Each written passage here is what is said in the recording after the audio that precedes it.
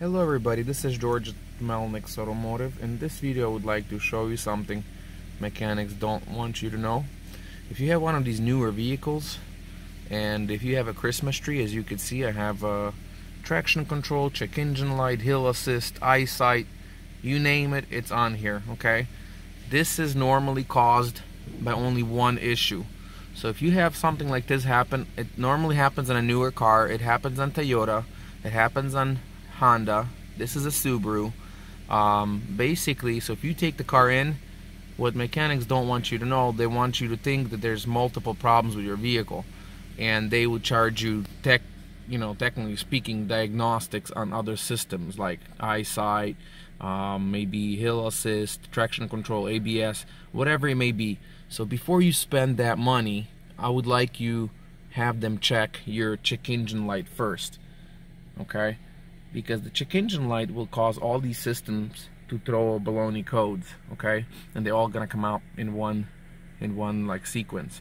So here's the deal. I went ahead and uh, put the scan tool on this car and I pulled P0171 um, that's a I believe there's a vacuum leak um, on this vehicle even though it's new because the engine was changed on this car. So I'm gonna show you how to find the vacuum leak. That's gonna be my next step. But just so you know they don't want you to know they might they want to have you think that there's numerous problems with your car and they will charge you for something that nothing has to be done. So I know that trick um, I've been burned by that trick myself when I just started up. So I'm just kind of giving you heads up. So next I'm gonna take you in the engine bay I'm gonna show you how we're gonna look for a vacuum leak. I believe there's a vacuum leak in this vehicle. I don't think there's anything with uh, fuel with oxygen sensors because everything's brand new most likely when technicians uh, put the engine in they maybe didn't connect something or there might be a like a you know maybe there's a little hole in the hose or something the vacuum hose or something like that. Maybe something got pinched. So I'm gonna show you how we're gonna look for a vacuum leak next. As you guys can see um, I'm gonna be using a smoke machine okay? Hooked up the air hose. And what I'm gonna do I disconnected one of the vacuum lines. I'm gonna connect this in there and see if I get smoke anywhere out of my hoses. It's inexpensive. I'm not sure. I purchased that on eBay a few years ago, but it's very helpful. This is what kind of smoke it produces. Subaru, I think this is the best area to do it. What I did, I disconnected this hose here because this line, this is a vacuum line. Basically, it should go through the whole system. So I went ahead, I went ahead and take, took off this hose. I put some tape on it and uh, you can see my machine puts out beautiful smoke. So I'm going to plug it in and hopefully I'm to find a hole. Okay, so as you can see my smoke machine has been running for a few minutes. I mean not a few minutes, maybe 20-30 seconds and you could see where my vacuum leak is. That's why I'm getting P0171 as you could see where the smoke is uh, coming out. So I do have a little hole in that area. So we're gonna go ahead and replace this hose. It's for you know the one that runs from the back of the air cleaner box, mass airflow sensor to the throttle body, and that's gonna take care of our issue. So very useful machine, inexpensive. I think I paid around hundred dollars for this machine. All you need, like I said, is an air hose, and you just connect it to your battery. So we just went ahead and located the leak. Here's what happened. A little closer. Look. Very poor design, I believe, with Subaru. What that happened, what happened there, just the seam of this hose that runs. It's kind of it's a plastic that just uh, cracked in that area, and that now it just basically causes a giant vacuum leak. So we're gonna go ahead and replace this thing. Went ahead and removed the hose. I want to show you. And this is not a first car. I've seen this. Uh, this issue, I believe it's going to be common issue. Because this is my third, this is my third one that I'm replacing. Third intake hose. Um, 2017, 18, 19 Impreza. 2018, 19 Crosstrek. Here's the problem. On the older vehicles, this was not plastic. If the material they used, it was more like a rubber. It was more flexible. Now they're using a hard plastic and you could see the seam here. They just used glue in there, but here what happens, like maybe from heat, maybe from stress, from an accident, I don't, I can't exactly tell you, but this is a third one. And what happens, this seam, and I'm gonna, can you, can you see the light? I'm actually putting my camera inside the hose. So that's the light. That's where the smoke was coming out of.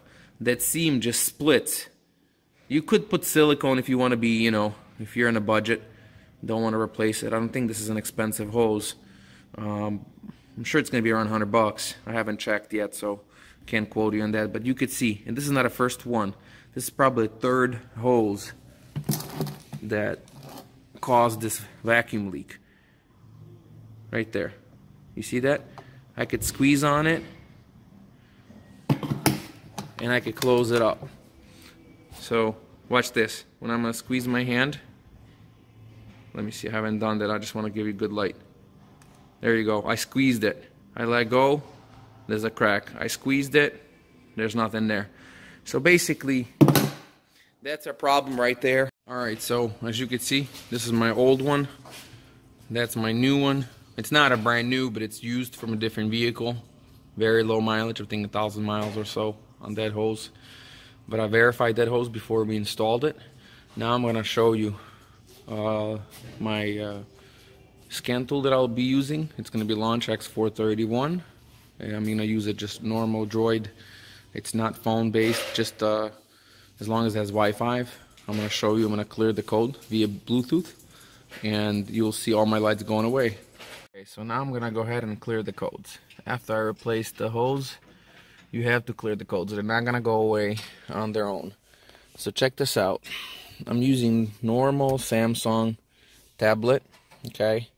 It doesn't have, as a matter of fact, as you could see, it's in airplane mode. So you don't need, like I said, you don't need to have a phone, but it could be any Droid uh, type of uh, device. So I'm gonna go to Subaru. We're going to connect to Subaru via Bluetooth. I should update my version. They have a new one available.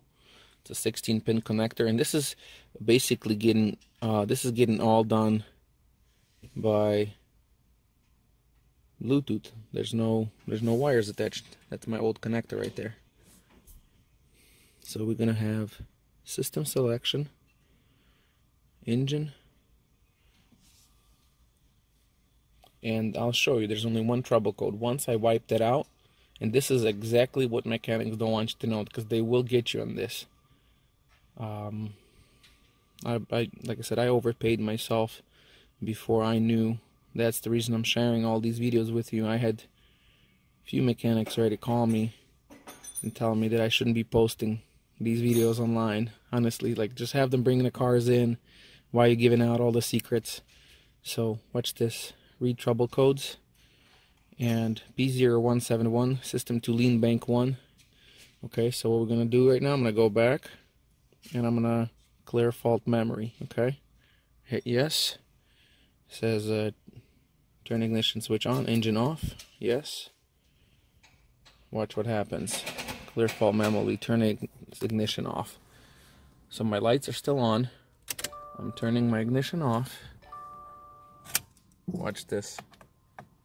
I'm gonna start the car now.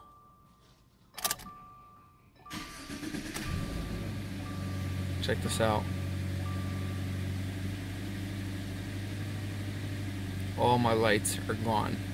One code caused all those lights to come on. And now that code will not come back because I replaced the hose. So that's how you look for a vacuum leak if you have a P0171 there's other codes that cause vacuum leak as well. But before you authorize your mechanic or a dealer try to look into your other lights make sure you have them look and take care of check engine first. Because check engine could fix most of your other lights on the newer vehicles and that's a secret mechanics don't want you guys to know. I just want to show you that and bring it up so you guys aware of that and possibly could save you a few hundred bucks in diagnostics fees. Thanks for watching. This was George with Melnik's Automotive.